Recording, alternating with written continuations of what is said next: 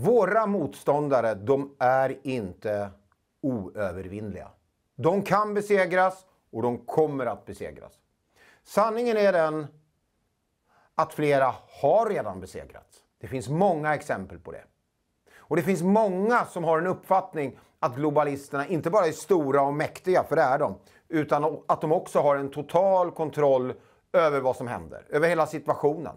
Att ingenting händer som de inte har planerat. Men det här är inte sant och det är viktigt att det kommer fram.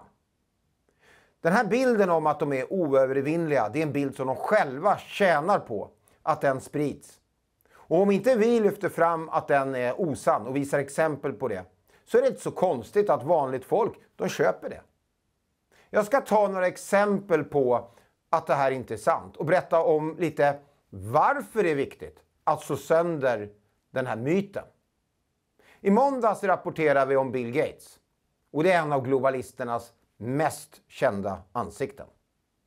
Att han hade blivit förnedrad i en domstol. Och tack vare det här domslutet finns nu en unik möjlighet att han kan bli fälld i domstol. Även om han inte kommer att fängslas, för det är inte säkert. Och även om de här skadestånden bara är småpengar för honom, så visar detta att det fortfarande finns ett rättssystem i västvärlden som fortfarande delvis, och jag säger delvis, fungerar. Globalisterna har inte total kontroll över rättssystemet. Jag menar, om de hade haft det så hade han inte blivit behandlad på det här sättet. Det säger sig självt. Så tro inte på allt som de här defatisterna säger. Allt det här negativa de sprider om att det är kört och att man ska ge upp.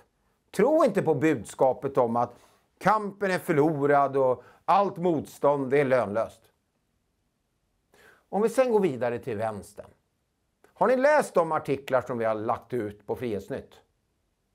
Där ser man tydligt och klart att vänstern, de är på tillbakagång. Det vet alla. De motdemonstrerar ju inte ens när man ordnar demonstrationer idag. Dagens vänster, de består bara av ett gäng förlorare. Titta exempelvis på den tyska vänstern. Ett exempel som säger allt om den saken är då kandidaterna till Vänsterpartiet i Tyskland presenterade sig. Det var rakt igenom konstiga, förvirrade människor som ingen i världen borde känna sig hotad av. Människor som till och med öppet skröt om sin psykiska ohälsa.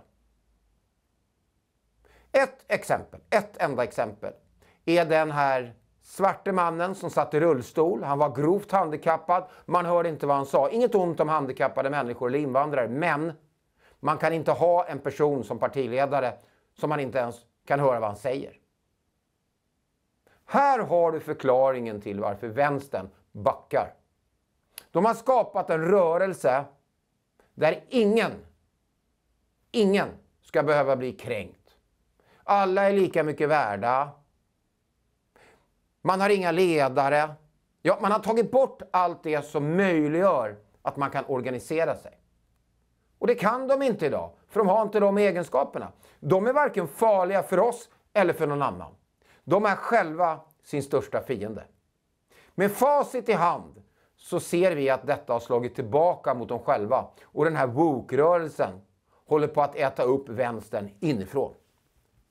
Med sådana motståndare, då behöver man knappt några allierade. För de skrämmer nämligen bort vanligt folk, vanliga arbetare. Sen har vi min personliga käpphäst. Och det är Socialdemokraterna. I över hundra år har de infiltrerat det här samhället. De har placerat ut sina aktivister på viktiga poster. De har etablerat organisationer som tagit över massor av viktiga områden, exempelvis fackförbunden. Man har till och med byggt upp en privat spionorganisation som heter Expo. Men nu ser man tydligt hur Socialdemokraterna håller på att tappa makten. När den ena pengakranen efter den andra håller på att stängas igen. Senast nu var det när de inte längre får pengar för att sälja sina spel till gamla pensionärer som knappt vet vad de tackar ja till. Och när de här pengarna ryker, då ryker även deras möjligheter att kunna avlöna sina aktivister. Lägga pengar på olika typer av påverkanskampanjer, för det är det de ägnar sig åt. Propaganda, påverkanskampanjer. Det enda de här socialdemokraterna bryr sig om det är makt och pengar. Idealismen den är död sedan länge. Så när pengarna försvinner, då försvinner också alla deras organisationer. För det finns inga idealister kvar som kan upprätthålla dem. Jag är övertygad om att sossarna snart kommer att vara ett minne. Globalisterna är betydligt svagare än vad de vill ge sken av. Och det ser vi väldigt tydligt nu när fasaden äntligen, och jag säger äntligen, börjar rämna. Det är nu vi ska lägga ner ännu mer energi. En ännu högre växel ska vi lägga i och fortsätta att rasera globalisternas bygge för att slutgiltigt visa att framtiden, den tillhör oss frihetsälskare. Så känner du dig uppgiven över hur allt ser ut? Var inte det. Äntligen kan vi börja se ljuset i tunneln. Med en seger kan bara bli möjlig om vi fortsätter att kämpa och inte ger upp. Eller för den delen blir bekväma. Så kavla upp ärmarna och bli en del av den rörelse som nu kommer att förändra världen. Tack för mig.